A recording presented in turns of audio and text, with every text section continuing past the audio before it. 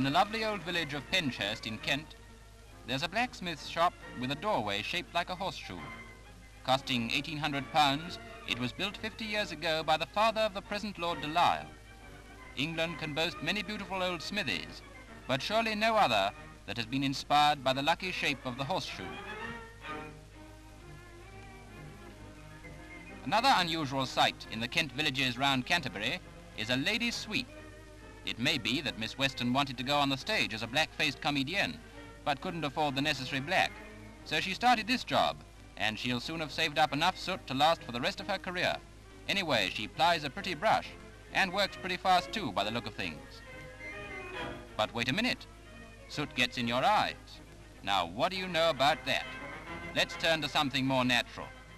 Let's turn, in fact, to the wonderful natural rock formation which forms the frontier between German Saxony and Czechoslovakia. It's called the Prebisch Tor and is one of Europe's wonders of nature. Passing through this rocky fairyland, it's hard to believe that the hand of man has not shaped these cliffs, or cut these canyons, or traced these swift-moving streams, or designed these rushing waterfalls.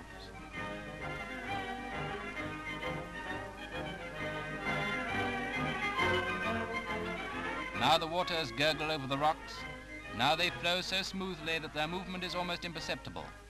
In the Prebisch Tor, nature shows her innumerable moves.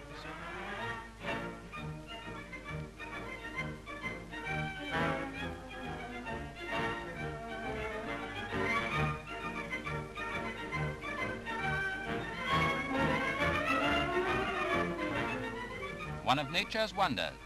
And now, in the flash of an eye, we go to New York to see one of science's wonders, the Hayden Planetarium. Inside the great hall of the planetarium, this projector throws onto the ceiling spots of light representing the stars in their courses. 9,000 stars are projected, a vision of the heavens at night.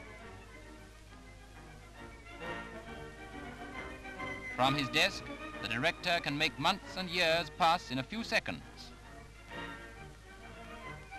England as yet has no planetarium but it's to be hoped that one will soon be built to show us some of the latest wonders of astronomy.